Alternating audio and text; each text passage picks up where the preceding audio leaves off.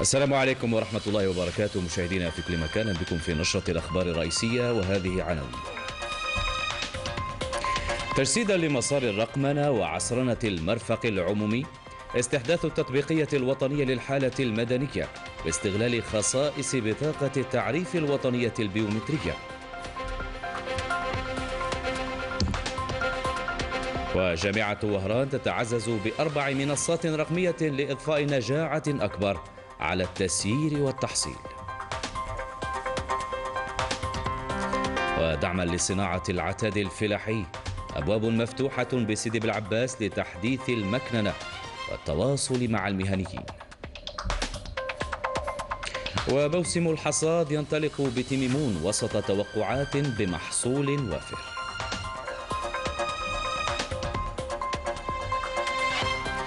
دوليا في السودان تجدد الاشتباكات وسط العاصمة الخرطوم رغم الهدنة الجديدة المعلنة. وتواصل موجات النزوح الجماعي نحو دول الجوار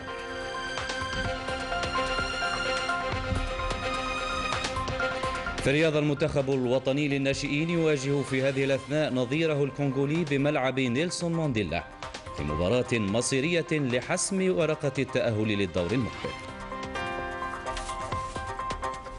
ونستهل النشر بملف الرقمنة ونتوقف عند مساع عصرنة المرفق العمومي حيث تم استحداث التطبيقية الوطنية للعائلات على مستوى سجلات الحالة المدنية باستغلال خصائص بطاقة التعريف الوطنية البيومترية. برامج لوزارة الداخلية تطبق في ثلاث بلديات نموذجية هي البويرة جيجل سعيدة. تفاصيل أوفى في هذه الورقة مع فوزية داش. لن يكون هناك داع بعد الآن من استخراج الشهادة العائلية بالدفتر العائلي. يكفي أن تكون بطاقة التعريف الوطنية البيومترية حاضرة في استخراجها. ثلاث ولايات نموذجية من بينها ولاية سعيدة تعمل بهذا النظام الرقمي في انتظار تعميمه. وأستطعنا ان نخرج يعني الأوراق نتاعي ببطاقة التعريف الوطنية.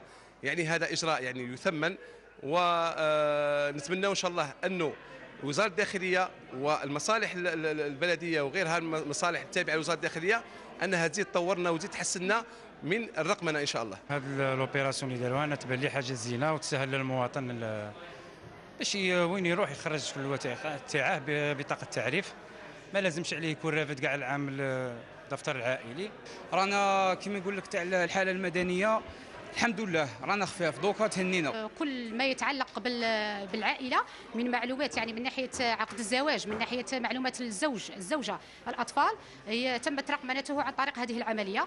يعني آه، فيها شيء إيجابي للمواطن.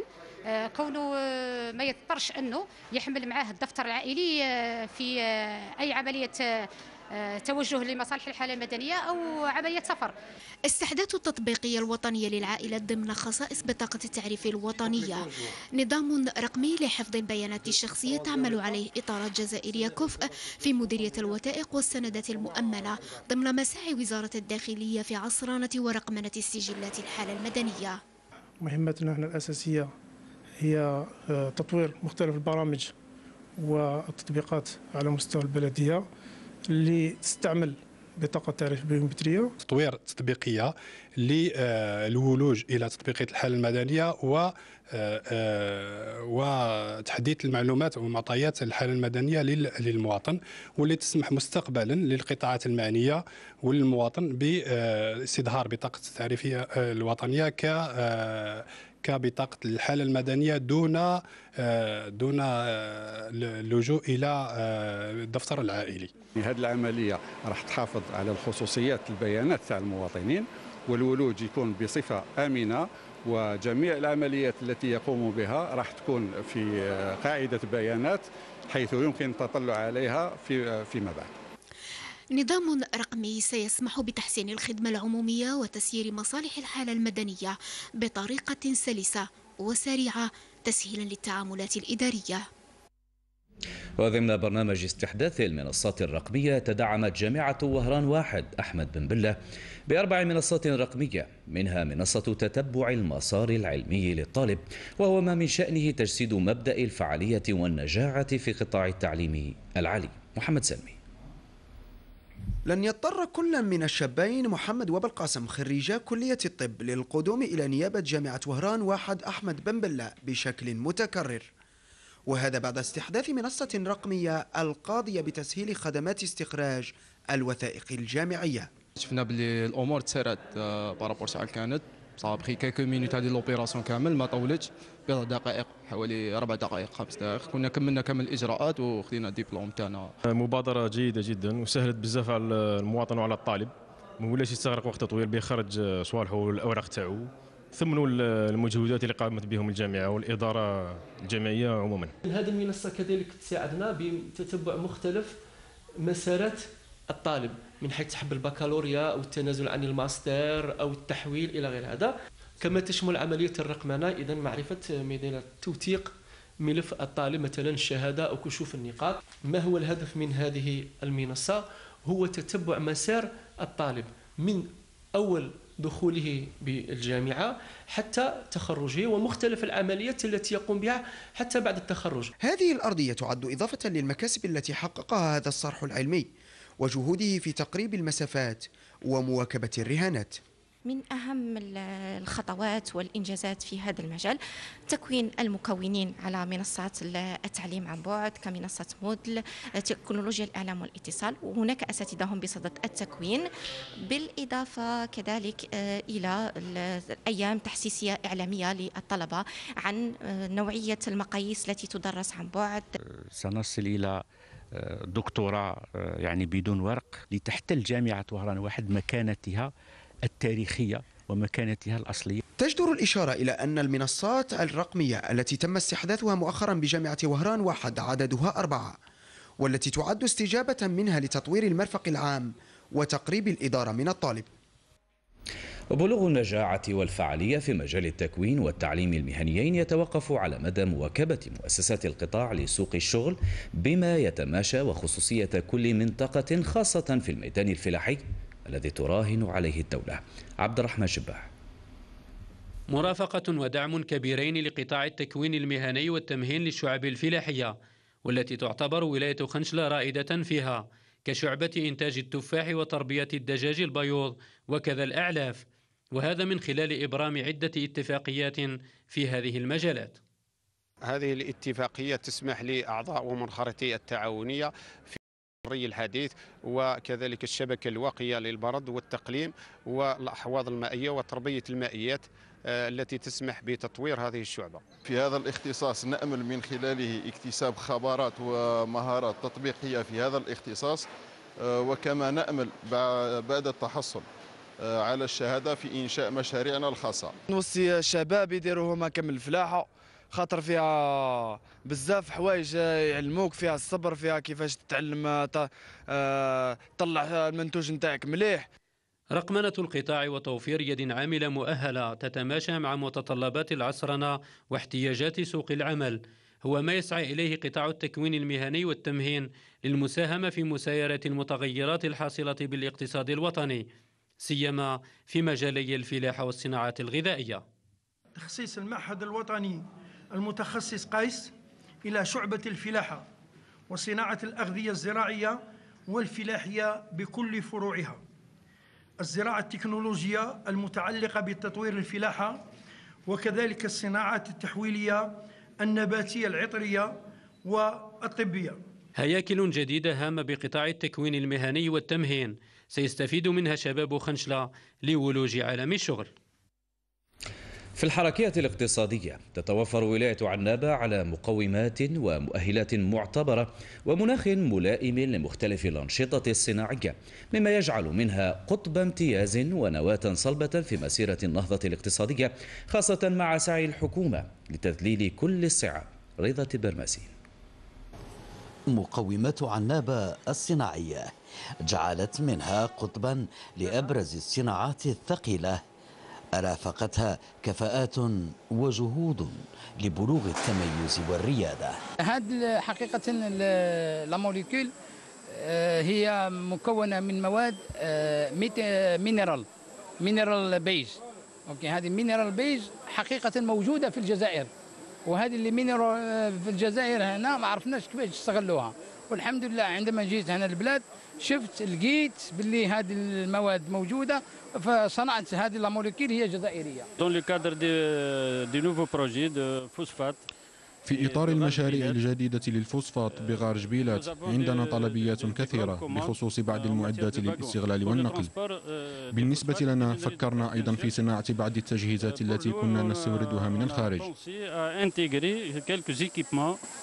Euh, qui sont actuellement importés de l'étranger. الكتلة الشغيلة والاستقرار الاجتماعي كلها عوامل حفزت وتحفز على الاستثمار ومع النابة إلا عينات من 58 ولاية كي تشوف الرقم 200 مليار دينار في رفع منح التقاعد إضافة لرفع الأجور هذا مجهود وطني هذا مجهود وطني اللي وضع المستثمرين في أريحية معناتها فيه منظومة اجتماعية قوية منظومة اجتماعية متكاملة تجلب المستثمر إضافة المؤهلات المادية. أرقام تترجم سعي الوصاية لتوفير المناخ الاقتصادي اللازم وعزمها على الدفع بالعجلة الاقتصادية إلى أقصى سرعة كما هو الحال بمركب الحجار فيه بعض المشاكل بعض المشاكل والمشاكل هذه الإطارات والعمال وممثلين العمال عازمين باش يتحكموا فيهم بمساعدة الدولة بالأخص قطاع الص- الصناعه إحنا رانا موجودين باش تكون خطة عمل باش نسرع بالنهضة نتاعو واللي امكانيات كاينة وأنا متفائل كثير هي التوليفة اللازمة. مناخ اقتصادي عقار صناعي وموقع استراتيجي. ترافقهم يد عاملة مؤهلة. تلكم هي رهانات الاقتصاد العالمي. وبغرض دعم صناعة العتاد الفلاحي والتواصل مع المهنيين في الميدان نظمت أبواب مفتوحة حول المكننة واستعمال أحدث التكنولوجيات في قطاع الفلاحة في مسعى لتطوير وتحديث القطاع. العينة من ولاية سيدي بالعباس مع سفيان مقنين.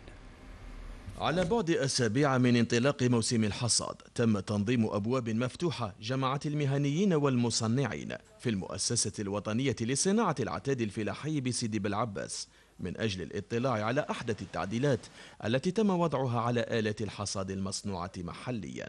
وراونا آه، les modèles جدد اللي هم خرجوهم وراونا les modifications. واليوم مع باش ولا راكم شفتوا قبيلة كنا مع جبنا لي مير ميكانيسيان على المستوى الوطني اللي معانا وميم طون فلاحين يطلعوا فوق المواشين ورينا لهم واش الحاجة في الصحراء واش واش لازمنا واش يبدلوا فيها ولقيناهم راهم في الاستماع. كنا نتلاقاو في لقاءات دورية مع ال مع ال مع ممثلي المؤسسة هذه ل آه، يعني آه، اقتراحات بعض التعديلات اقتراحات يعني تسهيل المهام تقريب الخدمة خاصة الجهة الجنوبية.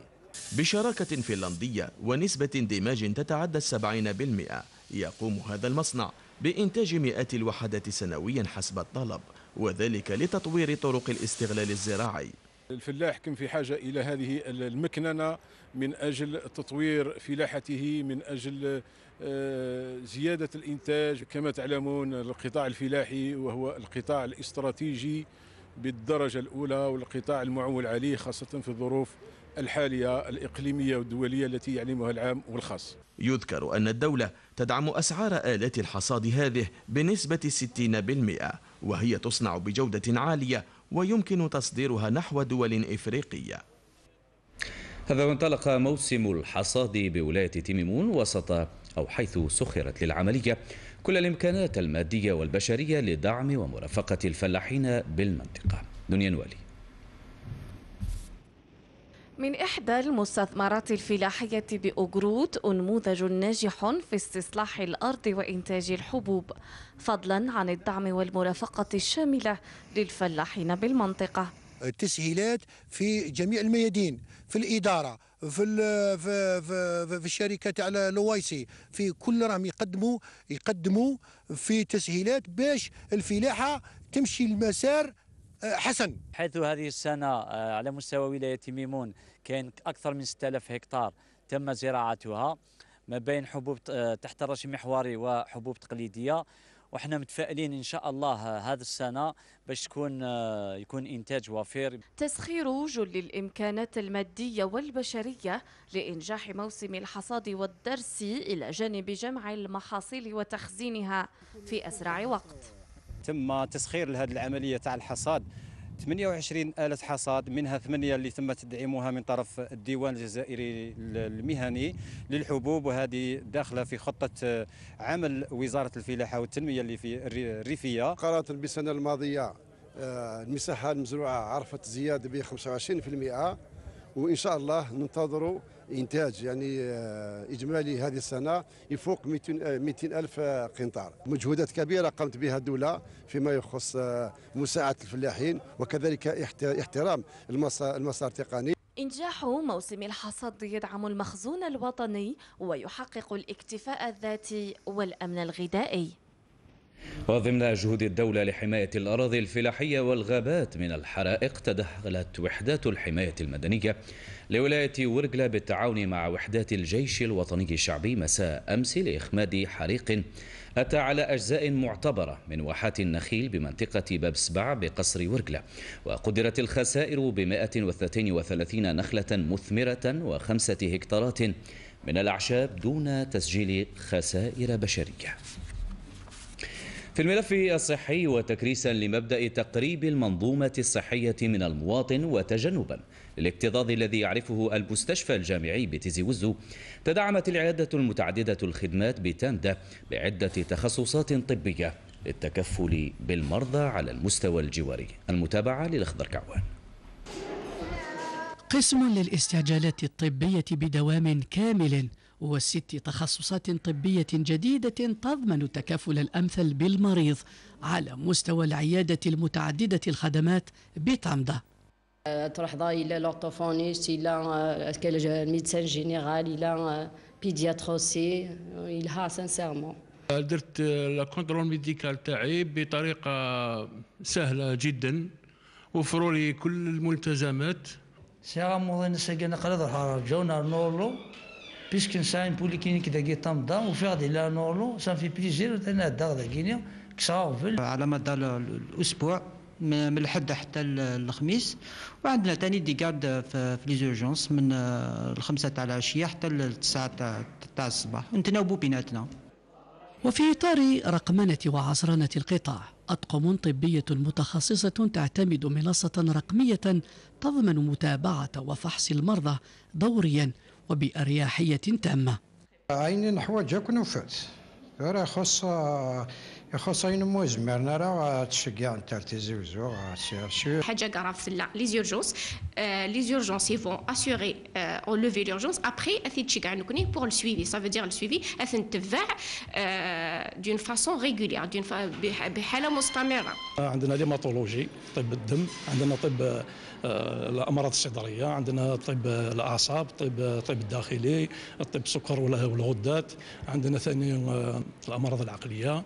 عندنا طب الأمراض الداخلية. donc dermatologie aussi. les urgences 24 sur sur 24 نساغ نساغ la radio نساغ laboratoire مرافق صحية هامة ستساهم في استحداث تخصصات طبية جديدة تلبية لطلبات المواطنين وتأكيدا على مبدأ الصحة العمومية الجوارية.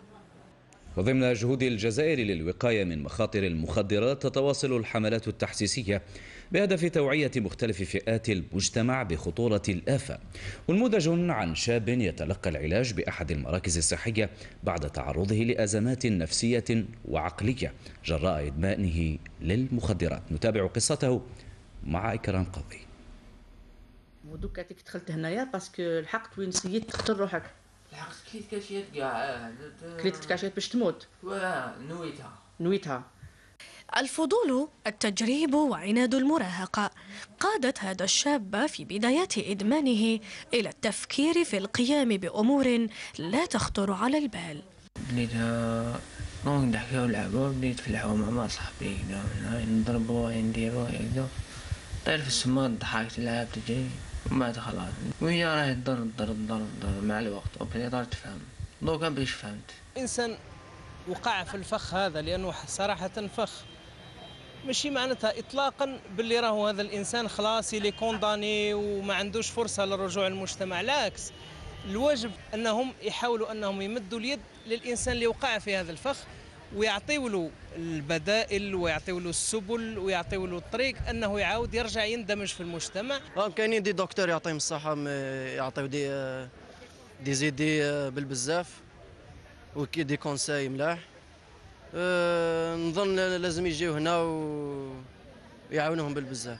كثيرا ما يكون الأشخاص المدمنون منعزلين عن واقعهم مدمرين لصحة أبدانهم وسلامتهم النفسية والعقلية لكن يحتاجون في المقابل إلى رعاية طبية خاصة. المخدرات ما يخفالكش باللي هما مواد donc ياثروا على المخ. بما انها أول حاجة أول منطقة تأثر عليها هو المخ donc ديري في بالك بلي حيدير تغييرات. آه، يقدروا يعطونا أمراض كما الاكتئاب آه، محاوله الانتحار آه، حتى أمراض عقلية هلوسات هذيان اللي أحيانا تتطلب استشفاء في مصلحة الأمراض العقلية. المدمن يكون ماشي كاع في وعيه. وكي يكون ماشي في وعيه يقدر يدير بزاف حاجات يقدر يقدر يتجه للافات الاجتماعية واحد آخرين يقدر يتجه للاجرام نعاونوه كيفاش يتجاوز هذه المرحلة باش يدخل في مرحلة العلاج. وعلاش لا؟ لا لمرحلة إن شاء الله التعافي الكلي من الإدمان. هذه المبادرات التحسيسية من بين الحلول التي تسهم في توعية أفراد المجتمع بضرورة تجنب المخدرات والابتعاد عنها باعتبارها سما قاتلا. وبهدف تأدية شعيرة الحج في أحسن الظروف تتواصل عملية تلقيح الحجاج الميامين وفق برنامج موسع يتضمن فتح عدة نقاط صحية عبر العاصمة. المتابعة لأحمد خردين. ضمانا لصحة الحجاج تتواصل عملية تلقيح المقبولين في قرعة الحج لهذا العام.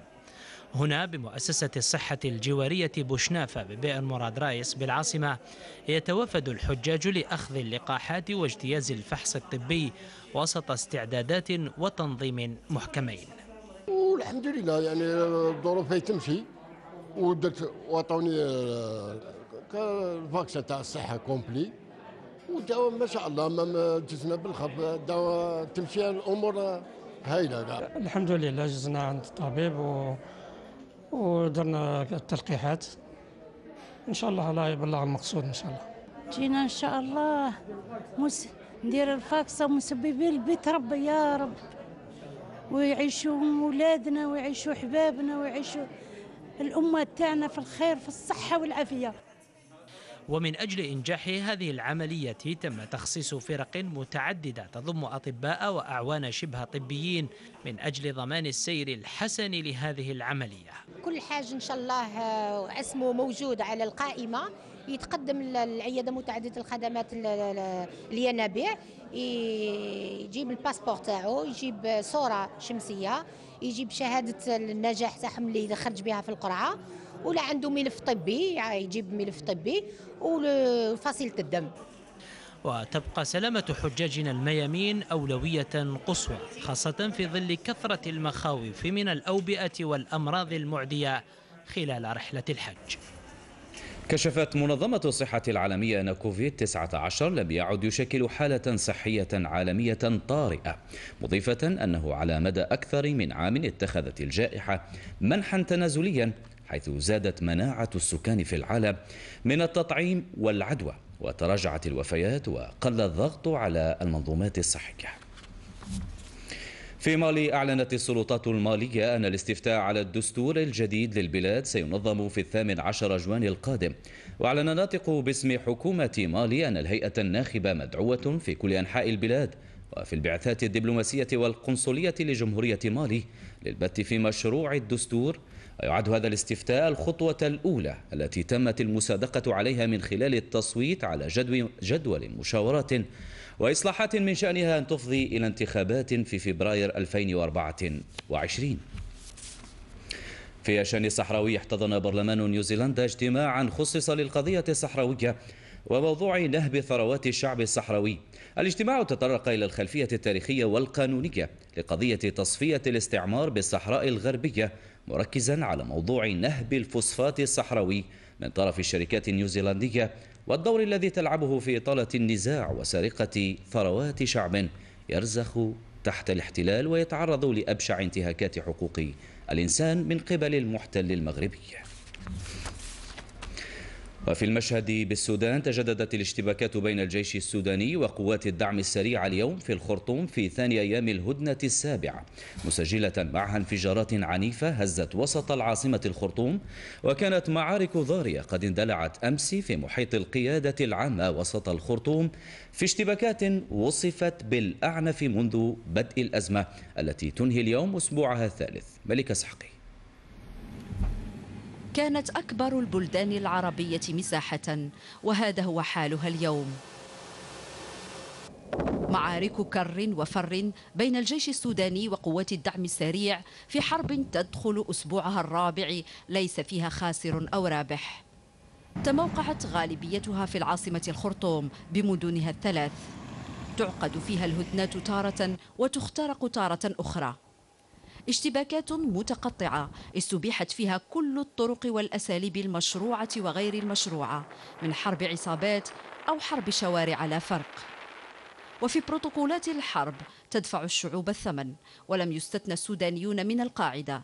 فبين لاجئ ومتشرد ومنكوب تشتت الشعب وقسمت وطأة الحرب البلاد التي كانت تعيش مآسي الفقر والجوع والعطش والمعاناة حتى قبل بداية الاشتباكات. المنظمات الدولية والحقوقية قدمت أرقاما ضخمة تنبئ بوضع إنساني كارثي. فقد غادر البلاد أزيد من 200 ألف سوداني إلى دول الجوار وقتل قرابة 200 طفل. وهو الاقتصاد وتعطلت التجارة الداخلية أمام أزمة السيولة. واقع هبت على إثره المساعدات الدولية من كل حدب وصوب من معدات جراحية ومتطوعين. فشلت الهدن المتلاحقة في تهدئة الحرب في السودان. وسط تلويحات بالجلوس إلى طاولة المفاوضات. مفاوضات تبدو عسيرة في ظل اشتباكات اليوم التي وصفت بالأعنف منذ بدايات الأزمة. وفي الأراضي الفلسطينية المحتلة أصيب اليوم خمسة فلسطينيين بالرصاص والعشرات بالاختناق بالغاز السام خلال قمع قوات الاحتلال الصهيوني مسيرة كفر قدوم الأسبوعية. شرق قلقيلية المنددة بالاستيطان وبجرائم الاحتلال الصهيوني المتواصلة بحق الشعب الفلسطيني. كما اعتقل الاحتلال الصهيوني ثمانية آخرين خلال حملة مداهمات بالخليل وجنين فيما يتواصل حصار أريحة لليوم الرابع عشر على التوالي. في أخبار الرياضة ولحساب الجولة الأخيرة من الدور الأول من كأس أمم إفريقيا للناشئين لأقل من 17 عاما يواجه في هذه الأثناء المنتخب الوطني نظيره الكونغولي بملعب نيلسون مانديلا في مباراة مصيرية لحسم ورقة التأهل للدور المقبل والنتيجة لحد الآن متعادلة صفر لمثله. هذا ويمكنكم متابعة اللقاء على القناة الأرضية للتلفزيون الجزائري. وبملعب الشهيد حملاوي يواجه في هذه الأثناء أيضا المنتخب السنغالي متصدر المجموعة الأولى نظيره الصومالي. ويمكنكم متابعة المباراة مباشرة على القناة الأرضية الثانية للتلفزيون الجزائري. في كرة القدم دائما وتسوية للجولة التاسعة عشرة للمحترف الأول فاز اليوم شباب الوزداد على ضيفه نادي وفاق سطيف بنتيجة هدف دون رد. وسجل الهدف اللاعب بوراس في الدقيقة الثانية والعشرين من عمر المباراة. وتسوية للجولة الثامنة عشرة من المحترف الأول. فازت اليوم شبيبة القبائل على ضيفها اتحاد الجزائر بنتيجة هدف دون رد وسجل هدف اللقاء الوحيد اللاعب بخنشوش في الدقيقة الثالثة والثلاثين من عمر المباراة. في ألعاب القوى فاز العداء الجزائري للمسافات نصف الطويلة. سليمان موسى بسباق 800 متر ضمن المرحلة الأولى للطبعة الرابعة عشرة لرابطة الماسية لألعاب القوى بملعب سهيم بن حمد بالدوحة. في الوقت الذي دخل فيه الجزائري الثاني جمال سجاتي نائب بطل العالم للمسافة في المركز الثالث. ونختم بجولة طربية تقودنا إلى العمق الإفريقي حيث أحيا الفنان الصاعد سلطان قناوي حفلا فنيا بقاعة ابن خلدون بالجزائر العاصمة. استمتع فيها الجمهور الحاضر بوصلات غنائية تراثية بمختلف لغات إفريقيا. ينقلها عبد الجبار في هذا الروبورتاج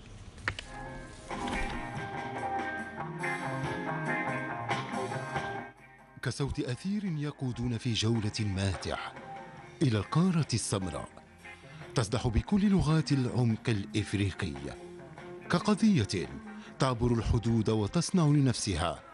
نمطا أصيلا قائما.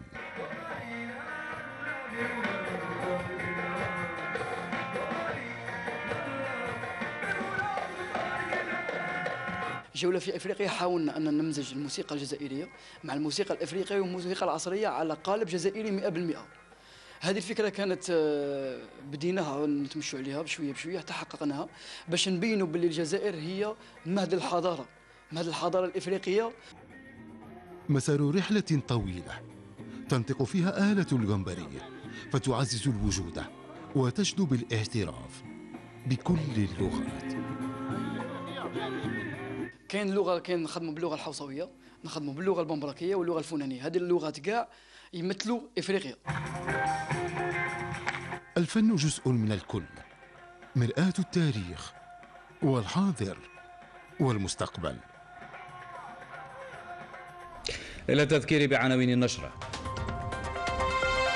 تجسيدا لمسار الرقمنة وعصرنة المرفق العمومي استحداث التطبيقية الوطنية للحالة المدنية باستغلال خصائص بطاقة التعريف الوطنية البيومترية. وجامعة وهران تتعزز بأربع منصات رقمية لإضفاء نجاعة أكبر على التسيير والتحصيل.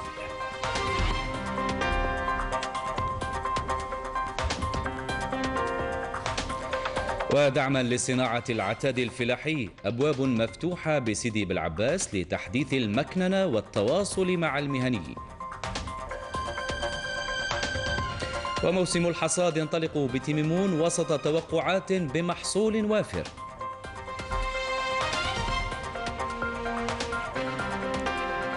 دوليا في السودان تجدد الاشتباكات وسط العاصمة الخرطوم رغم الهدنة الجديدة المعلنة. وتواصل موجات النزوح الجماعي نحو دول الجوار.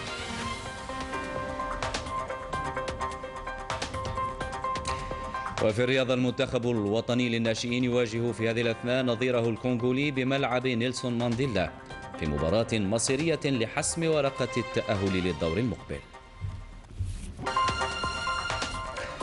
شكرا لكم على طيب المتابعة. تقبلوا تحياتي وتحيات الفريقين. الصحفي والتقني. شكرا لكم. سلام الله عليكم.